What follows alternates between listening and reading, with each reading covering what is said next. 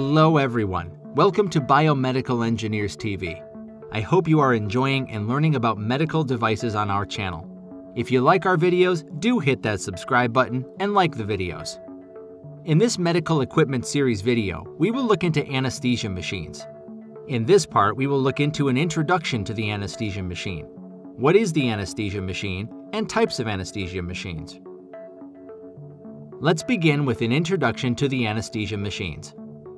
The original concept of the continuous flow machines was popularized by Boyle's anesthetic machine, invented by the British anesthetist Henry Boyle at St. Bartholomew's Hospital in London, United Kingdom in 1917, although similar machines had been used in France and in the United Kingdom. Prior to this time, anesthesiologists often carried all their equipment with them, but the development of heavy, bulky cylinder storage and increasingly elaborate airway equipment meant that this was no longer practical for most circumstances. Contemporary anesthetic machines are sometimes still referred to metonymously as Boyle's machine and are usually mounted on anti-static wheels for convenient transportation. Many of the early innovations in anesthetic equipment in the United States, including the closed-circuit carbon dioxide absorber, also known as the Guedel-Foregger Midget, and diffusion of such equipment to anesthesiologists within the United States can be attributed to Richard von Foregger and the Foregger Company. Let's look into typical anesthesia machine components. A modern anesthetic machine includes at minimum the following components. Connections to piped oxygen, medical air, and nitrous oxide from a wall supply in the healthcare facility, or reserve gas cylinders of oxygen, air, and nitrous oxide attached via a pin index safety system yoke with a Bodok seal. Pressure gauges, regulators, and pop-off valves to monitor gas pressure throughout the system and protect the machine components and patient from excessive rises. Flow meters such as rotameters for oxygen, air, and nitrous oxide.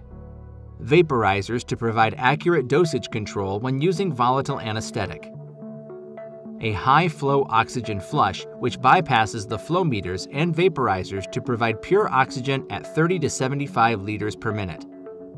Systems for monitoring the gases being administered to and exhaled by the patient, including an oxygen failure warning device.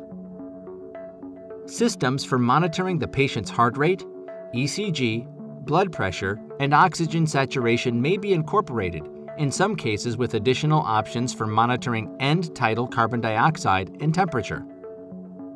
Breathing systems are also typically incorporated, including a manual of reservoir bag for ventilation in combination with an adjustable pressure limiting valve, as well as an integrated mechanical ventilator to accurately ventilate the patient during anesthesia.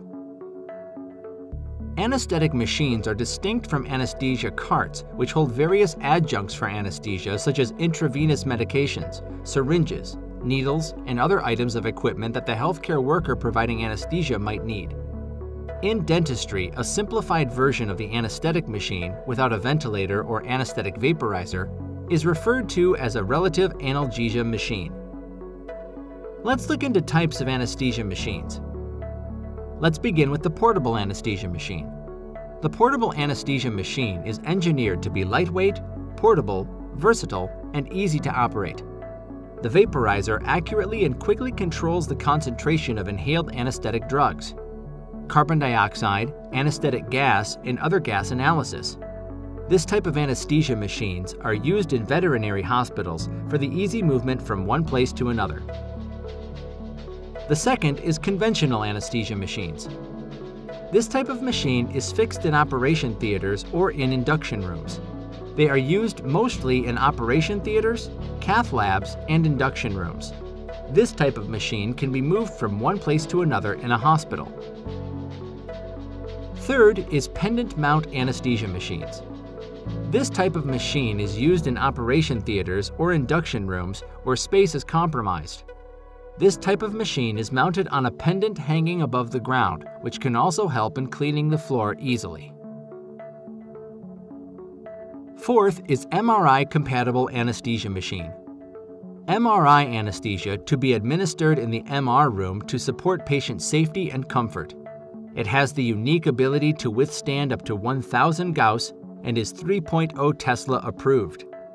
Tests with leading MRI scanner suppliers have confirmed that MRI diagnostic images are not affected by operating the anesthesia system, and that the anesthesia system is not affected by the MRI in operation. This saves time and space and allows the operator to respond more quickly to patient needs. I hope you liked the introduction of anesthesia machines.